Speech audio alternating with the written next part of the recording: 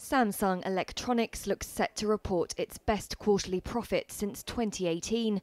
It flagged a 23% rise in second quarter operating profit on Tuesday, beating analyst forecasts. The surge is thanks to solid chip sales to data centers catering for a work from home economy.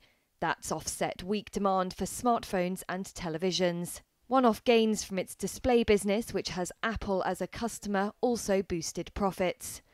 The world's top memory chip and smartphone maker said operating profit would likely come in at $6.8 billion for the quarter ending in June. Work from home orders and growth in online learning have helped push up DRAM memory chip prices, and other chip makers are seeing similar growth.